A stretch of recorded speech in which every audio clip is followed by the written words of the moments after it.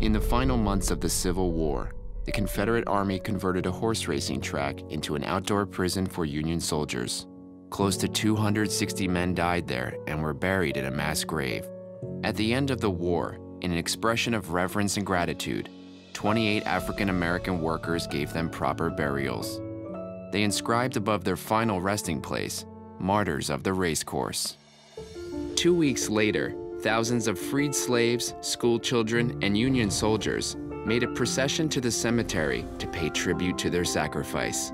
They laid flowers on the graves, listened to speeches, and picnicked on the grass.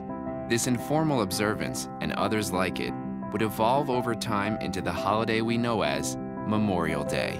On this day, we remember and honor all of those who have died from all branches of service in conflicts fought by U.S. forces.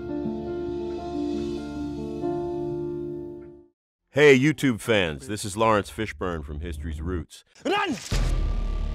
If you want to get more history and you want to watch more clips from Roots, click on the video and be sure to subscribe. Thank you so much for watching.